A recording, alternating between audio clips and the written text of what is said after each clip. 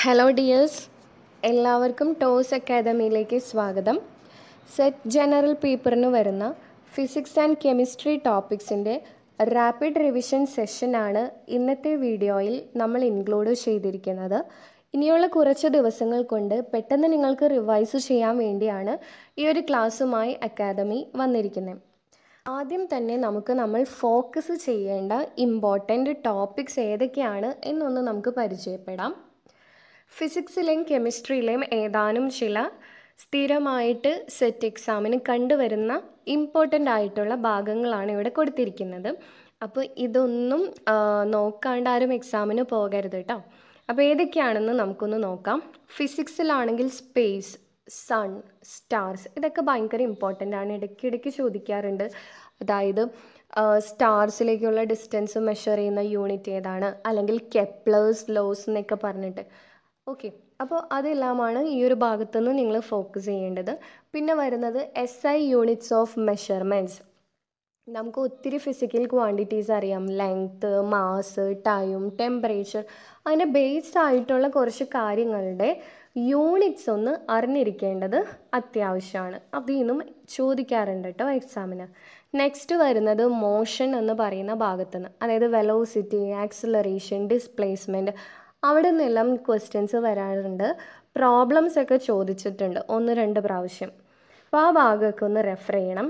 പിന്നെ conservation of momentum rocket propulsion വരുമ്പോൾ അതുപോലെ റീകോയിൽ ഓഫ് ഗൺ ഇവിടെ എല്ലാം ഏത് കൺസർവേഷൻ ലോയാണ് ഒബേ ചെയ്തിരിക്കുന്നത് എന്നൊക്കെ പറഞ്ഞ് ചോദിക്കാറുണ്ട്. അത് നോക്കുക. പിന്നെ again work energy kinetic energy potential energy അതുപോലെ വർക്ക് എപ്പോഴാണ് സീറോ ആകുക? എപ്പോഴാണ് പോസിറ്റീവ് വർക്ക് ഉണ്ടാകുക എപ്പോഴാണ് വർക്ക് നെഗറ്റീവ് ആവുക തുടങ്ങിയ കാര്യങ്ങളൊക്കെ ഒന്ന് നോക്കുക. പിന്നെ ന്യൂട്ടൺസ് ലോസ് വളരെ ഇമ്പോർട്ടന്റ് ആണ്. First law second law third law അതുപോലെ ഇനേഷ്യ ഇമ്പൾസ് തുടങ്ങിയ ഈ ന്യൂട്ടൺസ് ലോസിൽ വരുന്ന കാര്യങ്ങളും കൂടി ഒന്ന് റെഫർ ചെയ്യാം കേട്ടോ ഇത്രയും കാര്യങ്ങളാണ് സെറ്റ് എക്സാമിന് മെയിനായിട്ട് ഫിസിക്സിൽ നിന്ന് ചോദിക്കാറ്. തിരിച്ചു മറിച്ചൊക്കെ ചോദിക്കാം.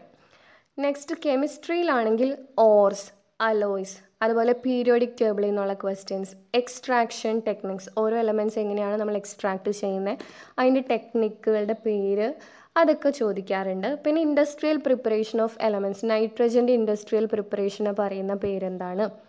ഓക്കെ അതുപോലെ ഹൈഡ്രോക്ലോറിക് ആസിഡിന്റെ ഇൻഡസ്ട്രിയൽ പ്രിപ്പറേഷൻ എങ്ങനെയാണ്?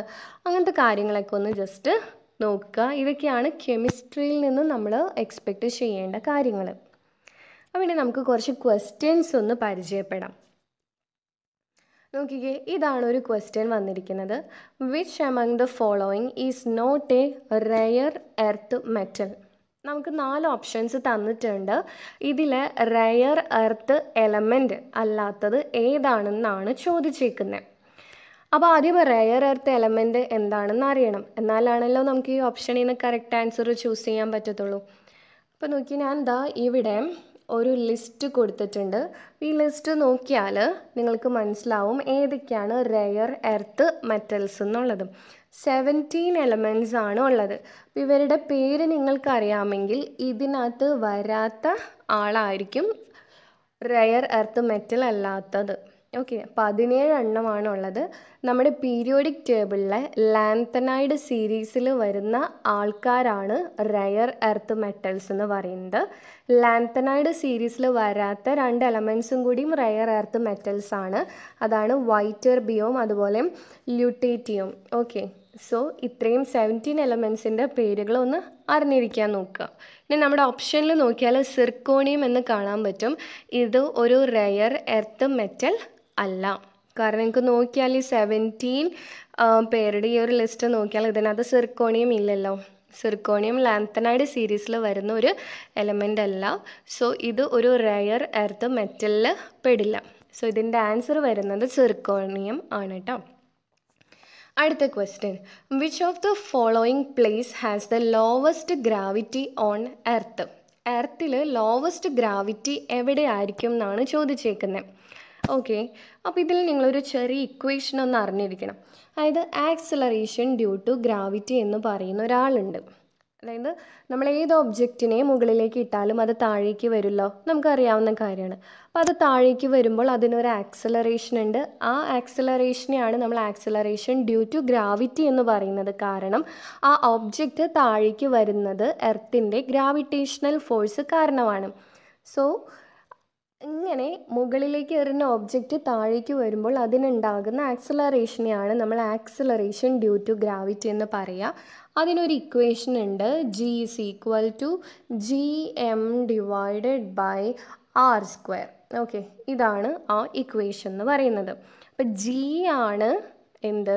ആക്സലറേഷൻ ഡ്യൂ ടു ഗ്രാവിറ്റീനെ ഡിനോട്ട് ചെയ്യുന്ന ലെറ്റർ ക്യാപിറ്റൽ ജി എന്ന് പറഞ്ഞാൽ ഗ്രാവിറ്റേഷണൽ കോൺസ്റ്റന്റ് ആണ്. എം എന്ന് പറഞ്ഞാൽ എർത്തിന്റെ മാസ് ആണ്. ആർ എന്ന് പറഞ്ഞാൽ എർത്തിന്റെ റേഡിയസ് ആണ്.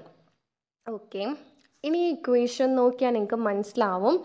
ജിയും ആറും ഇൻവേഴ്സ്ലി പ്രൊപ്പോർഷണൽ ആണ്. കാരണം റേഡിയസ് കിടക്കുന്നത് എവിടെയാണ് ഡിനോമിനേറ്ററിലാണ് എന്ന് വെച്ചാൽ റേഡിയസ് കൂടുമ്പോൾ ആക്സിലറേഷൻ ഡ്യൂ ടു ഗ്രാവിറ്റിക്ക് എന്താ സംഭവിക്കുക? ആക്സിലറേഷൻ ഡ്യൂ ടു ഗ്രാവിറ്റി കുറയും. ഈ ഒരു കോൺസെപ്റ്റാണ് നിങ്ങൾ മനസ്സിലാക്കി വെക്കേണ്ടത്. എന്താണ്? റേഡിയസ് കൂടുമ്പോൾ ആക്സലറേഷൻ ഡ്യൂ ടു ഗ്രാവിറ്റി കുറയുന്നുണ്ട്. ഇനി നമുക്ക് നമ്മുടെ ഓപ്ഷനിലോട്ട് പോകാം.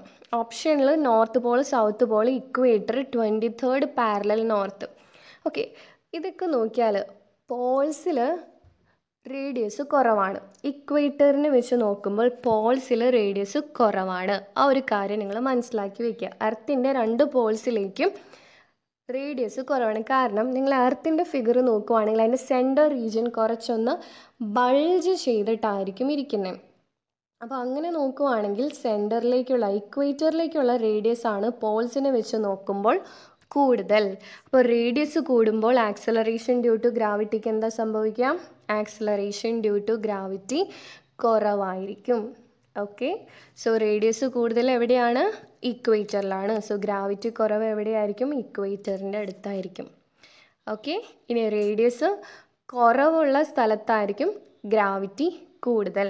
അപ്പോൾ നോർത്ത് പോൾ അല്ലെങ്കിൽ സൗത്ത് പോൾ ആ ഭാഗത്തേക്ക് ആയിരിക്കും ഗ്രാവിറ്റി കൂടുതൽ. ഗ്രാവിറ്റേഷന്റെ വാല്യൂ കൂടുതൽ ഉണ്ടാകുന്നത് പോൾസിലായിരിക്കും. കുറവാണ് ഇക്വേറ്ററിൽ റീസൺ റേഡിയസ് ആണ്. എർത്തിന്റെ റേഡിയസ് ഇക്വേറ്ററിലേക്ക് കൂടുതലാണ് പോൾസിലേക്ക് കുറവുള്ളൂ. അപ്പോൾ അത് മനസ്സിലായെന്ന് വിചാരിക്കുന്നു. ഇനി നമുക്ക് അടുത്ത ക്വസ്റ്റ്യൻ നോക്കാം. Which among the following is not true about solar eclipse solar എക്ലിപ്സിനെ കുറിച്ചിട്ട് ട്രൂ അല്ലാത്ത കാര്യം അതായത് ഇൻകറക്റ്റ് ആയിട്ടുള്ള കാര്യം ഇതിൽ നിന്ന് സെലക്ട് ചെയ്യാനാണ് പറഞ്ഞേക്കുന്നത് ഇതിൽ നോക്കിയാൽ നിങ്ങൾക്ക് നാല് ഓപ്ഷൻസ് കാണാം. ഇതിൽ മൂന്നെണ്ണം കറക്റ്റാണ് ഒരെണ്ണം തെറ്റായിട്ടുള്ളതുണ്ട്. അത് കണ്ടുപിടിക്കണം. അത് കണ്ടുപിടിക്കണം എന്നുണ്ടെങ്കിൽ ആദ്യം തന്നെ സോളാർ എക്ലിപ്സ് എന്താണെന്ന് നമ്മൾ മനസ്സിലാക്കണം. എന്താണ് സോളാർ എക്ലിപ്സ് എന്ന് പറഞ്ഞാൽ ഈ ഒരു ഫിഗർ നോക്കിയാൽ നിങ്ങൾക്ക് മനസ്സിലാവും. സണ്ണിനും എർത്തിനും ഇടയിൽ ആരാ വന്നിരിക്കുന്നത് മൂണാണ് വന്നിരിക്കുന്നത് അപ്പോൾ സണ്ണ് മൂൺ എർത്ത് ആ രീതിയിൽ ഇവർ മൂന്ന് പേരും ഒരേ ലൈനിൽ വരുമ്പോഴാണ് സോളാർ എക്ലിപ്സ് സംഭവിക്കുക. ഓക്കെ സൂര്യഗ്രഹണം എന്നാണ് നമ്മൾ അതിനെ പറയാം. അപ്പോൾ അവിടെ എന്താ സംഭവിക്കുന്നത് സൺ കഴിഞ്ഞിട്ട് മൂണായിരിക്കും മൂൺ കഴിഞ്ഞിട്ടാണ് എർത്ത് വരുന്നത് അങ്ങനെ വരുമ്പോൾ മൂണിന്റെ ഷാഡോ എർത്തിൽ വന്ന് വീഴുന്നു. ഓക്കെ ആ പ്രതിഭാസത്തിനെയാണ് നമ്മൾ സോളാർ എക്ലിപ്സ് എന്ന് പറയുന്നത്. ഇനി ടോട്ടൽ സോളാർ എക്ലിപ്സ് നടക്കുക. പതിനെട്ട് മാസം കൂടുമ്പോഴാണ്. ഓക്കെ ഏകദേശം ഒരു ഒന്നര കൊല്ലം കൂടുമ്പോഴാണ് ടോട്ടൽ സോളാർ എക്ലിപ്സ് നടക്കുക. ഇത്രയും കാര്യങ്ങൾ വെച്ചിട്ട് നമുക്ക് നമ്മുടെ ഓപ്ഷൻ കംപ്ലീറ്റ് ചെയ്യാൻ പറ്റുമെന്ന് നോക്കാം. നോക്കിക്കേ. The moon gets in the way of sun's light സണ്ണിന്റെ light വരുന്ന വഴിയിൽ ആര് വരുന്നു? മൂൺ വരുന്നു. കറക്റ്റ് അല്ലേ? അതെ മൂൺ സണ്ണിനും എർത്തിനും ഇടയിൽ വരുന്നതാണ് സോളാർ എക്ലിപ്സിന് കാരണം. ഇനി moon casts its shadow on earth മൂണിന്റെ shadow എർത്തിലേക്ക് വന്ന് വീഴുന്നു. കറക്റ്റ് അല്ലേ? കറക്റ്റാണ് next total solar eclipse occurs once in every eleven point five years എന്നാണ് പറയുന്നത് അങ്ങനെയാണോ? അല്ല ടോട്ടൽ സോളാർ എക്ലിപ്സ് ഒരു ഒന്നര കൊല്ലം കൂടുമ്പോഴാണ് നടക്കുന്നത്. സോ ലെവൻ പോയിന്റ് ഫൈവ് അല്ല വൺ പോയിന്റ് ഫൈവ് ആണ് കറക്റ്റായിട്ട് വരിക. അപ്പോൾ നമ്മളോട് തെറ്റായിട്ട് ഉത്തരം കണ്ടുപിടിക്കാനാണ് പറഞ്ഞേക്കുന്നത് അപ്പോൾ ഇതിന്റെ ആൻസർ വരുന്നത് ഓപ്ഷൻ സി ആയിരിക്കും. അടുത്ത ഓപ്ഷനും കൂടി നമുക്ക് നോക്കാം. എന്താ പറഞ്ഞിരിക്കുന്നത്? It occurs when the sun moon and the earth are aligned സണ്ണും മൂണും എർത്തും ഒരേ ലൈനിൽ വരുമ്പോഴാണ് സോളാർ എക്ലിപ്സ് നടക്കുക എന്നാണ് പറഞ്ഞേക്കുന്നത് അതും കറക്റ്റ് ആണല്ലോ. ഓക്കെ അപ്പോൾ ഓപ്ഷൻ സി ആണ് ഇതിന്റെ ആൻസർ വരിക. അപ്പോൾ സോളാർ എക്ലിപ്സിന്റെ ഈ കാര്യങ്ങളൊക്കെ ഒന്ന് അറിഞ്ഞിരിക്കാം. അപ്പോൾ സോളാർ എക്ലിപ്സിനെ കുറിച്ച് ചോദിക്കുമ്പോൾ അടുത്ത പ്രാവശ്യം വേണമെങ്കിൽ ലൂണാർ എക്ലിപ്സിനെ കുറിച്ച് ചോദിക്കാമല്ലോ അപ്പോൾ നമുക്ക് അതുകൊണ്ട് ലൂണാർ എക്ലിപ്സിന്റെ കുറച്ച് കാര്യങ്ങളും കൂടി ഒന്ന് നോക്കാം. ലൂണാർ എക്ലിപ്സ് നടക്കുന്നത് എപ്പോഴായിരിക്കും? സണ്ണിനും മൂണിനും ഇടയിൽ എർത്ത് വരുമ്പോഴാണ് ലൂണാർ എക്ലിപ്സ് നടക്കുക കേട്ടോ. ശ്രദ്ധിക്കണേ സോളാർ എക്ലിപ്സും ലൂണാർ എക്ലിപ്സും തമ്മിലുള്ള വ്യത്യാസം നോക്കുക. അവിടെ സൺ മൂൺ എർത്ത് ആ രീതിയായിരുന്നു. പക്ഷേ ഇവിടെ സൺ എർത്ത് മൂൺ ആ പാറ്റേൺ ആണ് ഫോളോ ചെയ്യുന്നത്. മൂന്ന് പേരും ഒരേ ലൈനിലായിരിക്കും വരുന്നത്. ഈ പറഞ്ഞ പോലെ എർത്താണ് സണ്ണിനും മൂണിനും ഇടയിൽ വരുന്നത്. അപ്പോൾ അങ്ങനെ വരുമ്പോൾ സണ്ണിൽ നിന്നുള്ള ലൈറ്റ് മൂണിൽ വന്ന് വീഴുന്നത് ആരാണ് തടയുന്നത് എർത്ത് തടയുന്നു. രണ്ട് തരത്തിലുള്ള ലൂണാർ എക്ലിപ്സുകളാണ് മെയിനായിട്ട് നടക്കാറ്. ഒരെണ്ണം ടോട്ടൽ ലൂണാർ എക്ലിപ്സ് കംപ്ലീറ്റ് ചന്ദ്രഗ്രഹണം. ഇനി ഒരെണ്ണം പാർഷ്യൽ ലൂണാർ എക്ലിപ്സ് പകുതി. ഓക്കെ അപ്പോൾ ടോട്ടൽ ലൂണാർ എക്ലിപ്സ് നടക്കുന്നത് എപ്പോഴാണെന്ന് വെച്ചാൽ എർത്തിന്റെ എക്സാക്റ്റ് ഓപ്പോസിറ്റ് സൈഡ്സിലായിരിക്കും മൂണും സണ്ണും വരുന്നത് അന്നേരം ടോട്ടൽ ലൂണാർ എക്ലിപ്സ് നടക്കും. ഇനി പാർഷ്യൽ ലൂണാർ എക്ലിപ്സ് എപ്പോഴാണെന്ന് വെച്ചാൽ എർത്തിന്റെ ഏതെങ്കിലും ഒരു പാർട്ടിൽ നിന്നുള്ള ഷാഡോ ആയിരിക്കും മൂണിലേക്ക് വരിക. ഓക്കെ അപ്പോഴാണ് പാർഷ്യൽ ലൂണാർ എക്ലിപ്സ് നടക്കുക. അപ്പോൾ ഇത്രയും കാര്യങ്ങൾ ലൂണാർ എക്ലിപ്സിനെ കുറിച്ച് മനസ്സിലാക്കി വെക്കാം കേട്ടോ ഇനി നമുക്ക് അടുത്ത ക്വസ്റ്റ്യൻ നോക്കാം. The compound which is a mixture of carbon monoxide and nitrogen carbon മോണോക്സൈഡും നൈട്രജനും മിക്സ് ചെയ്യുമ്പോൾ നമുക്ക് കിട്ടുന്ന കോമ്പൗണ്ട് ഏതാണെന്ന് ചോദിച്ചേക്കുന്നത് ഓപ്ഷൻസിൽ coal tar producer gas water gas nitrous oxide ഇത്രയും ഓപ്ഷൻസ് നമുക്ക് തന്നിട്ടുണ്ട്. ഇതിൽ നിന്ന് നമ്മൾ കറക്റ്റ് ആൻസർ കണ്ടുപിടിക്കണം. അപ്പോൾ ആദ്യം നമുക്ക് ഈ ഓരോ ഓപ്ഷനിലെ ആൾക്കാരെ ഒന്ന് പരിചയപ്പെടാം. പ്രൊഡ്യൂസർ ഗ്യാസ് പ്രൊഡ്യൂസർ ഗ്യാസ് എന്ന് പറയുമ്പോൾ ആ കാർബൺ മോണോക്സൈഡിനെയും നൈട്രജനെയും മിക്സ് ചെയ്യുമ്പോൾ കിട്ടുന്ന ആളാണ് പ്രൊഡ്യൂസർ ഗ്യാസ് എന്ന് പറയുന്നത് കേട്ടോ അപ്പോൾ നമ്മുടെ ഈ ക്വസ്റ്റ്യന്റെ ആൻസർ പ്രൊഡ്യൂസർ ഗ്യാസ് ആണ്. കാർബൺ മോണോക്സൈഡിന്റെയും നൈട്രജന്റെയും മിക്സ് അല്ലേ ചോദിച്ചേക്കുന്നത് സോ ആൻസർ പ്രൊഡ്യൂസർ ഗ്യാസ് അടുത്തത് നൈട്രസ് ഓക്സൈഡ് നോക്കാം. നൈട്രസ് ഓക്സൈഡ് എന്ന് പറയുന്നത് it is not a mixture അതൊരു കോമ്പൗണ്ടാണ് ഓക്കെ അപ്പോൾ നൈട്രസ് ഓക്സൈഡ് എന്തായാലും വരില്ല. കാരണം അതൊരു മിക്സ്ചറേ അല്ല. അതൊരു കോമ്പൗണ്ട് ആണ് കേട്ടോ. അതിന്റെ chemical formula N two O ഇനി കോൾട്ടാർ നോക്കാം. കോൾട്ടാർ ഒരു മിക്സ്ചറാണ് എന്തൊക്കെ കാര്യങ്ങൾ കൂടി ചേരുമ്പോഴാണ് കോൾട്ടാർ ഉണ്ടാകുന്നത് ഫീനോൾസ് അതുപോലെ പോളിസൈക്ലിക് അരോമാറ്റിക് ഹൈഡ്രോ കാർബൺസ് പിന്നെ ഹെഡ്രോസൈക്ലിക് കോമ്പൗണ്ട്സ് ഇത്രയും ആൾക്കാർ ചേരുമ്പോൾ കിട്ടുന്നതാണ് കോൾട്ടാർ എന്ന് പറയുന്ന മിക്സ്ചർ ഇനി വാട്ടർ ഗ്യാസ് എന്താണെന്ന് നോക്കാം. വാട്ടർ ഗ്യാസ് എന്ന് പറഞ്ഞാൽ കാർബൺ മോണോക്സൈഡും ഹൈഡ്രജനും ചേരുമ്പോൾ കിട്ടുന്നതാണ് വാട്ടർ ഗ്യാസ് എന്ന് പറയുന്ന മിക്സ്ചർ ഓക്കെ അപ്പോൾ ഈ ഓപ്ഷനിൽ പറഞ്ഞിരിക്കുന്ന നാല് ആൾക്കാരെ നമ്മൾ പരിചയപ്പെട്ടു. അപ്പോൾ ഇതിന്റെ ആൻസർ എന്താ വരിക? പ്രൊഡ്യൂസർ ഗ്യാസ് കാർബൺ മോണോക്സൈഡിന്റെയും നൈട്രജന്റെയും മിക്സ്ചറിനെ കുറിച്ചിട്ടാണ് ചോദിച്ചേക്കുന്നത് അപ്പോൾ ആൻസർ വരിക പ്രൊഡ്യൂസർ ഗ്യാസ് അടുത്തൊരു ക്വസ്റ്റ്യൻ നമുക്ക് നോക്കാം. The unit used to express distances to stars and galaxies okay സ്റ്റാർസിലോട്ടും ഗാലക്സിയിലോട്ടും ഡിസ്റ്റൻസ് മെഷർ ചെയ്യാൻ വേണ്ടിയിട്ട് നമ്മൾ യൂസ് ചെയ്യുന്ന യൂണിറ്റ് എന്താണെന്ന് ചോദിച്ചേക്കുന്നത് എന്തായാലും കിലോമീറ്ററിൽ പറ്റത്തില്ല. കാരണം എന്താ? ഒത്തിരി ദൂരെയാണ് സ്റ്റാർസും ഗാലക്സീസും എന്നൊക്കെ പറയുന്നത്. ഇനി ലൈറ്റ് മിനിറ്റ്സ് എന്ന് പറയുന്ന യൂണിറ്റ് നമ്മൾ കേട്ടിട്ടില്ല. പക്ഷേ ലൈറ്റ് ഇയേഴ്സ് എന്ന് കേട്ടിട്ടുണ്ട് അല്ലേ? ലൈറ്റ് ഇയേഴ്സ് ആണ് ശരിക്കും ഇതിന്റെ ആൻസർ വരണ്ടേ. പക്ഷേ ഇതിനകത്ത് ലൈറ്റ് ഇയർ എന്ന് പറയുന്ന ഓപ്ഷൻ കൊടുത്തിട്ടില്ല. അപ്പം ഇനി വേറെ ഏതായിരിക്കും വരിക? പാർസെക്സ് ഉണ്ട് പാരലാക്സ് ഉണ്ട്. പാരലാക്സ് എന്ന് പറഞ്ഞാൽ അതൊരു യൂണിറ്റ് അല്ല അതൊരു മെഷർമെന്റ് മെത്തേഡാണ് സ്റ്റാർസ് അതുപോലെ സണ്ണ് ഇവരുടെയൊക്കെ പൊസിഷൻ ഡിറ്റർമിൻ ചെയ്യാൻ വേണ്ടിയിട്ട് നമ്മൾ യൂസ് ചെയ്യുന്ന ഒരു മെത്തേഡാണ് പാരലാക്സ് അല്ലെങ്കിൽ പാരലാക്റ്റിക് മെത്തേഡ് എന്ന് പറയുന്നത്. അപ്പോൾ അതൊരു യൂണിറ്റ് അല്ല. പിന്നെയുള്ളത് പാർസെക്സ് ആണ്. ഇതിന്റെ ആൻസർ വരുന്നത് പാർസെക്സ് ആണ് കേട്ടോ ലൈറ്റ് ഇയേഴ്സ് അല്ലെങ്കിൽ പാർസെക്സിന്റെ ടേംസിലാണ് നമ്മൾ സ്റ്റാർസിലോട്ടേക്കുള്ള ഡിസ്റ്റൻസ് മെഷർ ചെയ്യാം. ഓക്കെ യൂഷ്വലി ലൈറ്റ് ഇയേഴ്സ് ആണ് ചോദിക്കാം. കേട്ടോ. അപ്പോൾ ലൈറ്റ് ഇയർ എന്താണെന്നൊന്ന് അറിഞ്ഞിരിക്കാം. ഒന്നുമില്ല. ഒരു കൊല്ലം കൊണ്ട് ലൈറ്റ് ട്രാവൽ ചെയ്യുന്ന ഡിസ്റ്റൻസിനെയാണ് നമ്മൾ വൺ ലൈറ്റ് ഇയർ എന്ന് പറയുന്നത്. ഓക്കെ ഇനി പാർസെക്സ് എന്ന് പറയുന്ന യൂണിറ്റും കൂടി നമ്മൾ യൂസ് ചെയ്യാറുണ്ട്. ഒരു പാർസെക് എന്ന് പറയുന്നത് three point two six light years ചേരുമ്പോൾ കിട്ടുന്നതാണ്. Okay so one parsec equal to three point two six light years ആണ്. അപ്പോൾ ലൈറ്റ് ഇയേഴ്സും പാർസെക്സും ആണ് ഈ ഒരു ക്വസ്റ്റ്യന്റെ ആൻസർ ആയിട്ട് വരിക. ഓപ്ഷനിൽ ലൈറ്റ് ഇയേഴ്സ് ഇല്ലാത്തതുകൊണ്ട് പാർസെക്സ് ആണ് ഇതിന്റെ ആൻസർ അടുത്ത ക്വസ്റ്റ്യൻ നോക്കാം. Titanium metal is extracted from dash നാല് ഓപ്ഷൻസ് തന്നിട്ടുണ്ട്.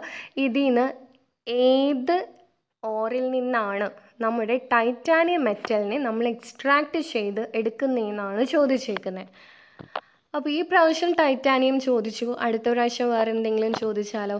അതുകൊണ്ട് ഞാൻ അവിടെ ഒരു ലിസ്റ്റ് കൊടുത്തിട്ടുണ്ട്. ഈ ലിസ്റ്റിൽ നിന്നും ഇത് വളരെ കോമൺ ആയിട്ട് വരുന്ന ഓർസിന്റെ പേരാണ്. ഈ ലിസ്റ്റ് പഠിച്ചാൽ ഈ രീതിയിൽ ഏത് ക്വസ്റ്റ്യൻ ചോദിച്ചാലും നിങ്ങൾക്ക് ആൻസർ ചെയ്യാൻ പറ്റും. ഓക്കെ ബോക്സൈറ്റിൽ നിന്നാണ് അലുമിനിയം നമ്മൾ എക്സ്ട്രാക്ട് ചെയ്യുന്നത് കാസിറ്ററൈറ്റിൽ നിന്ന് ടിൻ ക്രോമൈറ്റിൽ നിന്ന് ക്രോമിയം സിന്നബാറിൽ നിന്ന് മെർക്കുറി കൊബാൾട്ടൈറ്റിൽ നിന്ന് കൊബാൾട്ട് ഗലേനയിൽ നിന്ന് ലെഡ് ഹേമറ്റൈറ്റിൽ നിന്ന് അയേൺ ഇൽമനൈറ്റിൽ നിന്ന് ടൈറ്റാനിയം മാഗ്നറ്റൈറ്റിൽ നിന്ന് അയേൺ മോളിബ്ഡനൈറ്റിൽ നിന്ന് മോളിബ്ഡനം പെൻഡ്ലാൻഡൈറ്റിൽ നിന്ന് നിക്കൽ പൈറോലുസൈറ്റിൽ നിന്ന് മാൻകനീസ് സ്വലറൈറ്റിൽ നിന്ന് സിങ്ക് ഓക്കെ. അപ്പോൾ ഇത്രയും പേരുകൾ പഠിച്ചു വെക്കുക കേട്ടോ അപ്പോൾ നമ്മുടെ ആൻസർ ടൈറ്റാനിയം ആണ്. ഏതിൽ നിന്നാണ് ചോദിച്ചേക്കുന്നത് ഇലിമിനൈറ്റിൽ നിന്നാണ് ടൈറ്റാനിയം എന്ന് പറയുന്ന മെറ്റൽ നമ്മൾ എക്സ്ട്രാക്ട് ചെയ്യുന്നത് കേട്ടോ അപ്പോൾ ഈ ലിസ്റ്റ് നിങ്ങൾ പഠിച്ചാൽ ഇതിൽ നിന്ന് എന്ത് ചോദിച്ചാലും നിങ്ങൾക്ക് ആൻസർ ചെയ്യാനായിട്ട് പറ്റും. അടുത്ത ക്വസ്റ്റ്യൻ നോക്കാം. Bronze is an alloy of copper and dash. ഏത് രണ്ട് പേര് ചേരുമ്പോഴാണ് ബ്രോൺസ് എന്ന് പറയുന്ന അലോയ് ഫോം ചെയ്യുന്നത് എന്നാണ് ചോദിച്ചേക്കുന്നത്. നാല് ഓപ്ഷൻസ് തന്നിട്ടുണ്ട്. കറക്റ്റ് ആൻസർ നമ്മൾ ചൂസ് ചെയ്യണം. അപ്പോൾ ഈ പ്രാവശ്യം ബ്രോൺസ് ചോദിച്ചു. അടുത്ത പ്രാവശ്യം വേറെ ഏതെങ്കിലും ചോദിച്ചാലോ? അപ്പോൾ നമ്മൾ ആ ലിസ്റ്റ് ഒന്ന് പരിചയപ്പെടണ്ടേ? ഇതാണ് കോമൺ ആയിട്ട് വരുന്ന അലോയ്സിന്റെ പേരുകൾ അപ്പോൾ ഇതൊന്നും പഠിച്ചിരിക്കാം കേട്ടോ. അപ്പോൾ ബ്രാസ് എന്ന് പറയുന്നത് കോപ്പർ ആൻഡ് സിങ്ക് ചേരുമ്പോഴാണ് ഫോം ചെയ്യുന്നത്. അയേണും കാർബണും ചേരുമ്പോൾ സ്റ്റീൽ ഉണ്ടാകുന്നു. Iron chromium nickel and carbon ചേരുമ്പോൾ സ്റ്റെയിൻലെസ് സ്റ്റീൽ നമുക്ക് കിട്ടുന്നു. കോപ്പർ ആൻഡ് ടിൻ ചേരുമ്പോൾ ബ്രോൺസ് വരുന്നു. ടിൻ ആൻഡ് ലെഡ് ചേരുമ്പോൾ സോൾഡർ കിട്ടുന്നു. Aluminium copper magnesium and manganese ഇവരെല്ലാം ചേരുന്നതാണ് ഡ്യൂർ അലൂമിനിയം എന്ന് പറയുന്നത്. ടിൻ കോപ്പർ ആൻഡ് ആന്റിമണി ഇത് ചേരുമ്പോഴാണ് പ്യൂട്ടർ നമുക്ക് കിട്ടുക. Then mercury and other metals അതായത് മെർക്കുറിയുടെ കൂടെ നമ്മൾ വേറെ മെറ്റൽസ് ചേർക്കുമ്പോൾ നമുക്ക് കിട്ടുന്നതാണ് അമാൽഗംസ് എന്ന് പറയുന്നത്.